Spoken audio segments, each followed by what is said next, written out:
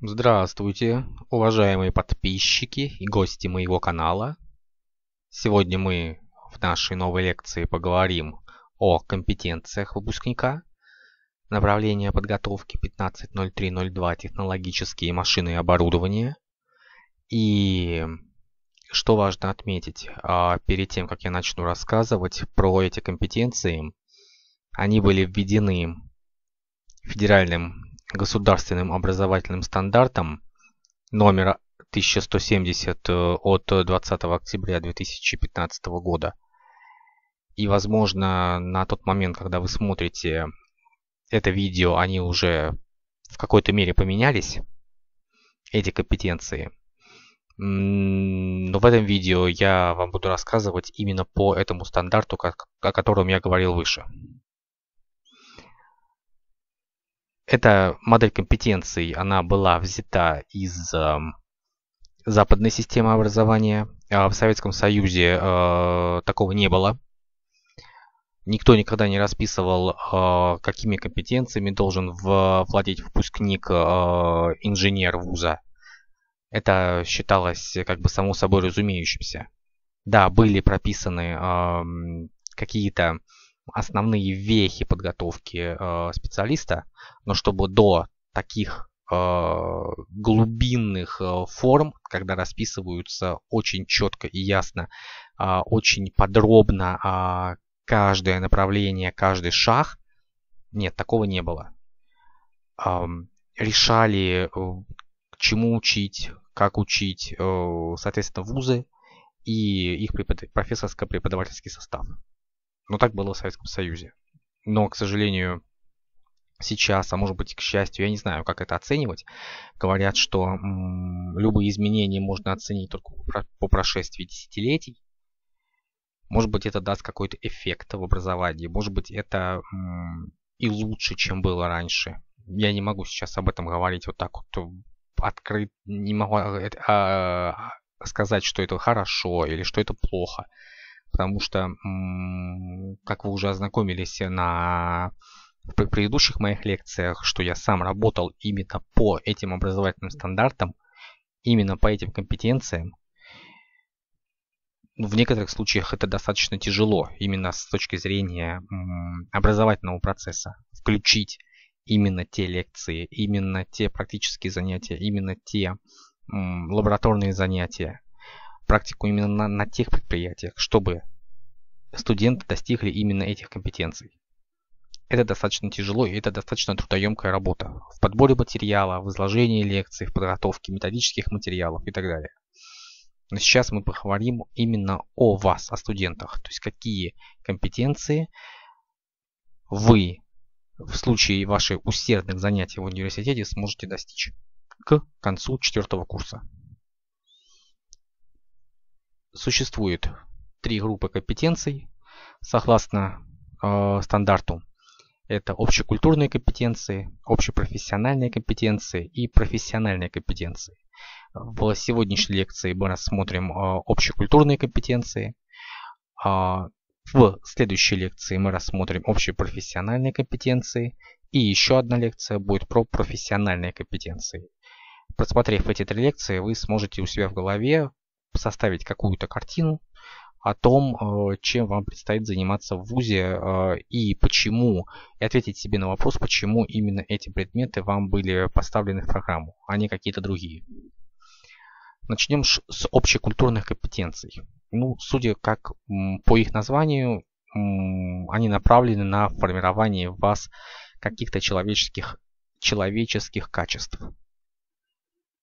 и развитие так называемых ваших soft skills, как сейчас это принято называть, мягких навыков. То есть навыков коммуникации, навыков взаимодействия, а, навыков а, письменной и устной речи, а также навыков, а, которые поддерживают ваше здоровье на достаточно высоком уровне, которые позволят вам, этот уровень здоровья позволит вам успешно справляться с теми профессиональными задачами, которые перед вами будет ставить э, ваше руководство на предприятии.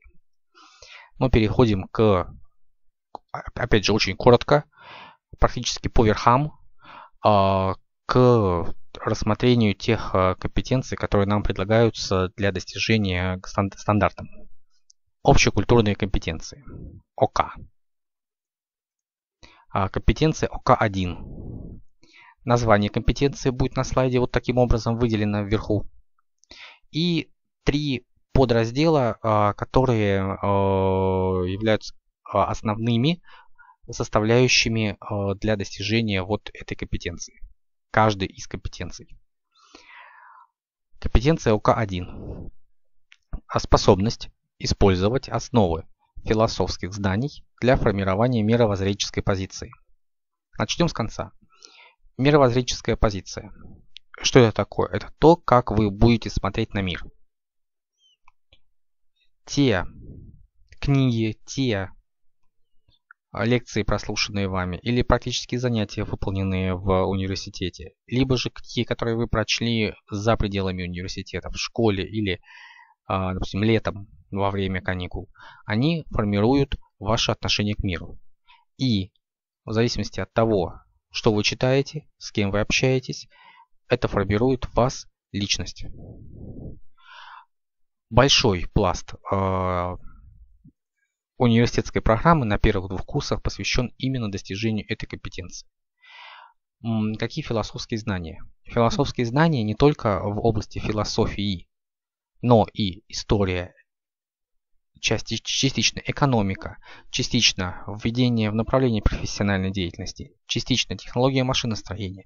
Все это а, разные подходы к философскому знанию, только в, с разных сторон. То есть философия в чистом виде, философия через призму истории, философия через призму техники. Э, что здесь э, вас ждет? Это значит, на первом этапе это понимание основных философских проблем, а, второй этап это сравнение философских концепций. И третий это уже критическое осмысление этих философских концепций. Пройдя через эти три этапа, вы сможете сформировать внутри себя хорошую базу а, для того, чтобы а, грамотно оценивать ту информацию, которая вам будет предъявляться на протяжении всей вашей жизни, а также в случае усердных занятий приобретете навыки задавания грамотных вопросов себе и окружающим. А компетенция ОК-2. Способность анализировать основные этапы и закономерность исторического развития общества для формирования гражданской позиции. О чем эта компетенция? Вы, мы все живем в обществе. Это общество каким-то образом развивалось. То, в то время, когда общество начало развиваться, а, у него были достаточно, достаточно э, небольшой пласт законов. Но с каждым годом, с каждым десятилетием, столетием эти законы пополнялись. Некоторые законы исчезали, некоторые появлялись. Но важно знать вот что, что как, какие бы законы не были в обществе, именно социальные законы, это э, все эти законы были придуманы людьми, которые были до нас. Вначале эти законы какими-то людьми были придуманы. Потом эти люди передали эти законы своим детям. И эти дети начали в них жить, жить по этим законам. А потом эти дети далее по поколениям передавали эти законы своим, своим детям, внукам, правнукам и так далее.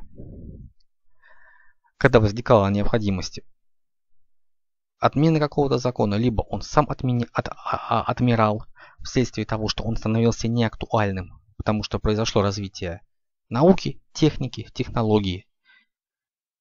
На его место становились другие законы. Но мы сейчас, какие мы можем назвать законы развития общества? Это а,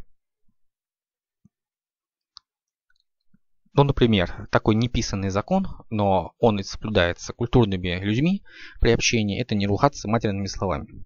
Потому что матерные слова считаются оскорбительными.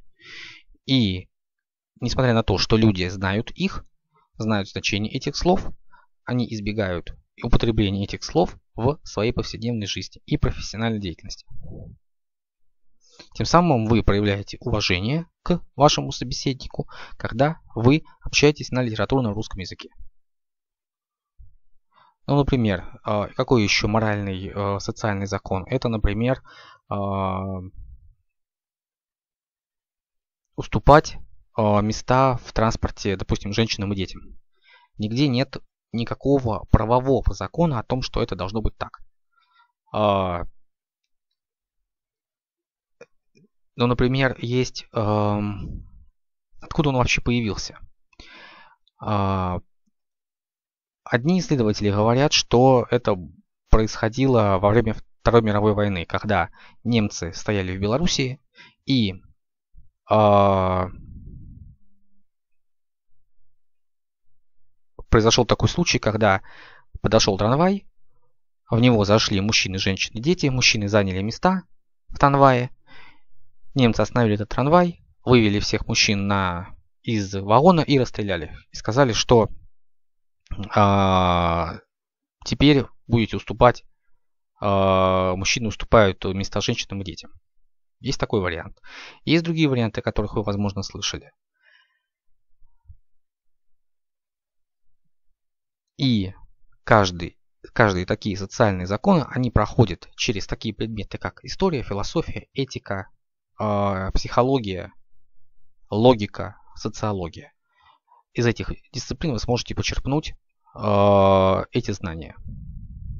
И переходим к э, третьей э, компетенции, ОК-3. Способность использовать основы экономических знаний в различных сферах деятельности. Включает в себя понимание основы экономических знаний, умение сравнивать экономические знания и анализировать их. О чем давайте вкратце, э, чтобы нам не растягивать эту, эту лекцию надолго. О чем это вкратце? Экономические законы это как э, протекают экономические процессы в вашей жизни и в жизни того предприятия, которым, на котором вы пойдете работать. Важно понимание того, что э, ни одно производство не может взяться ниоткуда. Всегда есть а, труд человека, который вкладывается в создание этого производства, а также финансовые средства, которые вкладываются в приобретение а, средств производства. И а, знать о том, что если производство, допустим, организовалось, организовалось и для того, чтобы оно продолжало функционировать, оно должно быть рентабельным, то есть прибыльным. Если прибыли у производства нет, то, соответственно, рано или поздно оно закроется и придет в упадок. А, все эти законы вы изучите на таких предметах, как а, экономика промышленности, экономика и а, каких-то других смежных дисциплин. Компетенция ОК-4. Способность использовать основу правовых знаний в различных сферах деятельности. О чем это говорит? Это о том, какие законы есть в правовые законы в нашей стране, какие есть международные правовые нормы, какие есть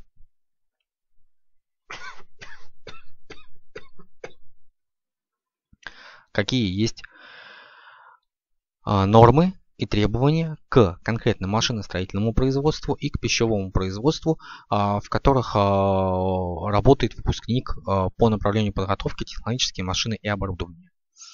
Важно помнить о том, что эти законы защищают вас как гражданина, вас как работника, но в то же время они с, таки, с таким же, с такой же силой защищают и работодателя от нерадивого работника. Нерадивого значит некомпетентного работника, того, кто не может выполнять свои обязанности, взятые на себя, с э, высоким качеством и давать тот результат, ради которого его принимали на работу. Далее. А, компетенция ОК-5. А, способность к коммуникации в устной и письменной форме на русском и иностранном языках для решения задач межличностного и межкультурного взаимодействия. О чем? Вы работаете, вы будете работать в обществе, вы будете работать с другими людьми. Эти люди могут быть как вашей национальности, так и другой национальности, другой культуры. Это могут быть, э, иметь другую расу, вероисповедание, э, национальность. Они могут быть э, выходцами из, э, допустим, из Африки, из Средней Азии, Южной Америки. Э, поэтому необходимо знать, чем отличается культура других людей от культуры, принятой в России, э, знать, э, какие особенности этих культур и каким образом э, взаимодействовать с людьми, выходцами из других культур. Для этого вы изучаете русский язык, отдельно у вас будет дисциплина, и иностранный язык в сфере межкультурного взаимодействия. Знание иностранных языков сейчас очень важно.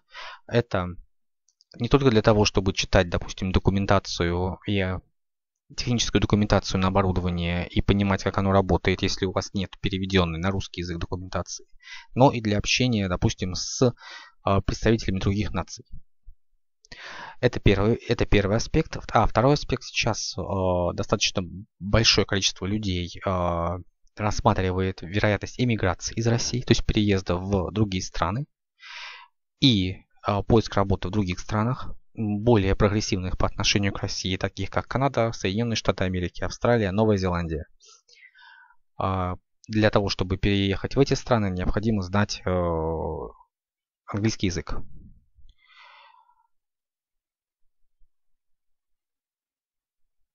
То есть вот эти два аспекта вам важно знать, когда вы учите, учитесь в университете. Сейчас открыты большие возможности для тех, кто хочет эмигрировать. Вы а, основные, основные требования это признание диплома, то есть вы конвертируете свой диплом, допустим, в эквивалентный диплом той страны, куда вы хотите уехать. Это называется эвалюация дипломов. А также предоставляете сертификат а, о знании иностранного языка. В зависимости от страны пребывания требуется сдать экзамен либо IELTS, либо TOEFL на какой-то минимальный балл. Например, для IELTS, допустим, 6,5-7,5 средний балл. Для TOEFL, э, допустим, выше 120 балл. И, соответственно, с этим сертификатом вы берете, вы подаете документы на получение вида на жительство в этой стране. И можете эмигрировать и работать по специальности, Э, либо э, получить грин-карту в Соединенных Штатах Америки и, соответственно, уехать из России и работать за рубежом. Это второй аспект э, того, что вы знаете иностранный язык и с помощью него коммуницируете с людьми других национальностей. Компетенция ОК-6 способность работать в коллективе толерантно, воспринимая социальные, этические, конфесси конфессиональные и культурные различия. Много я сказал уже об этом в, по поводу предыдущей компетенции, когда рассказывал про знание иностранных языков. А, повторяться не буду.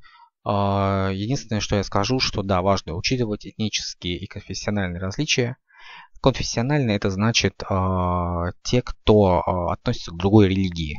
У нас самые крупные религии это христианство, с тремя подветвями. Это католицизм, протестантизм и православие. Это иудаизм, это мусульманство. Это самые крупные э, религии в современном мире. Соответственно, знание отличий в этих религиях сейчас очень важно, чтобы понимать, о чем можно разговаривать с этими людьми, какие вопросы можно поднимать с этими людьми, а какие вопросы лучше обойти и умолчать. Компетенция ОК-7 – это способность к самоорганизации, самообразованию. Это очень важно в современном мире, потому что вы будете учиться всю жизнь. Даже после того, как вы закончите университет, вы все равно будете продолжать учиться. Если вы хотите остать, остаться в профессии, остаться в специальности, э, необходимо учиться каждый день, каждый месяц, каждый год. Узнавать что-то новое, читать профессиональные журналы современные, ездить на выставки – даже за свой счет и в свое, э, скажем так, э, свободное время от работы, а, взяв отпуск, допустим, э, и поехать, допустим, на такие выставки, как Агропродмаш или Продэкспо, которые проводятся в Москве, а, профессиональные выставки, на которых представляется оборудование пищевых производств, технологии производства продуктов питания, а, тем самым повышая свой профессиональный уровень. И становясь все более и более востребованным специалистом в своей сфере. А для этого вам необходимо найти э, те методы образования, которые будут работать у вас. Сейчас их достаточно много. Это и метод интеллект карт, про который я говорил в одной из предыдущих лекций, и методы чтения книг, методы работы с научно-технической информацией. Про это будет отдельная лекция. И, возможно, когда вы слушаете эту лекцию, уже эта лекция выложена у меня на канале, и вы можете ее посмотреть. О том, как работать с научно-технической информацией. Важно э, обратить внимание вот на этот пункт. Технологии проектирования и организации образовательной среды. То есть у вас где-то на работе, либо дома организовано место, где вы регулярно занимаетесь. А, такие рекомендации есть. А, идеально, если вы просыпаетесь не позже а, половины шестого утра. То есть в 5 часов утра, в 5.30 утра. Съедаете легкий завтрак и полчаса, 40 минут занимаетесь, повышаете свою квалификацию. Неважно, что это будет. Это будет чтение научно-технической литературы на русском или, или иностранном языке. Допустим, каких-то научных статей по специальности. И а почему я говорю по специальности? Потому что я не знаю, на каком заводе вы будете работать. Если, допустим, вы работаете на заводе маслоэкстракционном заводе, то вы читаете по экстракции масла статьи. По оборуд... А, статьи по оборудованию, оборудованию экстракции масла. Если вы работаете на хлебозаводе, вы читаете журналы по хлебопечению, по хлебопекарному производству, по хлебопекарному оборудованию и так далее. Смысл понятен. Но в этот момент, когда вы занимаетесь, вас ничего не должно отвлекать. Поэтому как, я вам советую именно утром отводить себе полчаса времени, 40 минут перед выходом из дома, э, чтобы вы могли сосредоточиться, сесть в заранее отведенном месте и углубиться в самообразование. А, кроме чтения профессиональной литературы, можно заниматься, повышать свой уровень иностранного языка. Допустим, ты дня в неделю вы занимаетесь иностранным языком, три дня в неделю вы занимаетесь профессиональной литературой и один день в неделю вы отдыхаете. Такой вариант. Далее, а, компетенция ОК-8. Э, способность использовать методы и средства физической культуры для обеспечения полноценной социальной и профессиональной деятельности. Если у вас слабое здоровье, то, соответственно, ваши успехи будут слабыми. Если у вас сильное здоровье, выносливое тело, то ваши успехи будут сильными и выносливыми. Все, что было сказано выше про интеллектуальное развитие, можно полностью переложить на физическое развитие. А, минимум 4 раза в неделю у вас должна быть полноценная тренировка а, физическая. Это минимум полчаса а, нагрузочной тренировки, чтобы, значит, для мужчин важно, что если вы мужчина, парень, то запотеть. Если вы запотели, значит тренировка прошла успешно. А, значит, по тренировкам я вам подробно ничего не скажу. Значит, найдите себе хорошего тренера, и а, он вам создаст а, ваш план тренировок, чтобы вы поддерживали себя в хорошей физической форме. Кроме этого, вам нужно организовать свое питание качественное, которое будет давать вам все необходимые белки, жиры, углеводы, минеральные вещества, витамины. И, витамин, и питание должно быть сбалансированным. Это важно. Опять же, найдите себе специалиста, который вам подберет ваш, именно для вашего тела, подходящий режим питания и состав этих продуктов, которые вы будете потреблять на ежедневной основе. Это важно, потому что если вы не следите за своим здоровьем, вы пренебрегаете своим здоровьем, соответственно, с какого-то возраста у вас здоровье начнет давать сбой и вы уже не сможете трудиться с той же отдачей, с которой вы трудились до того. Это приведет к снижению вашей продуктивности, эффективности, результативности и, как следствие, снижению вашего дохода. И снижению удовольствия от жизни, снижение качества жизни. Я не представляю, какое может быть качество жизни, если у вас э, что-то болит в теле. А, компетенция ОК-9 – это готовность пользоваться основными методами защиты производственного персонала и населения от возможных последствий аварий, катастроф, стихийных бедствий. А, любое предприятие, оно, особенно пищевое предприятие, такое, допустим, как маслоэкстракционный завод, хлебозавод, а, спиртовой завод, завод по переработки сахарной свеклы. Это все объекты повышенной опасности. И на, при производстве образуются отходы, при производстве образуются выбросы, сбросы. Соответственно, это нужно контролировать и э, необходимо э, предотвращать любое загрязнение окружающей среды, любое негативное воздействие на здоровье людей, которые работают вместе с вами, в том числе на ваше здоровье в процессе а, производства пищевой продукции. Соответственно, необходимо, это достигается, это достигается тем, что оборудование эксплуатируется грамотно, а э, оборудование эксплуатируется в соответствии с требованиями безопасности, техническое обслуживание, ремонт проводится вовремя. Таким образом, достигается а, предотвращение аварий и катастроф. Если же такая случилась авария или катастрофа, а, которая привела к загрязнению окружающей среды или к а, какому-то урону, который нанесет здоровью а, работников завода, то, соответственно, необходимо принять все, все меры для того, чтобы это максимально устранить.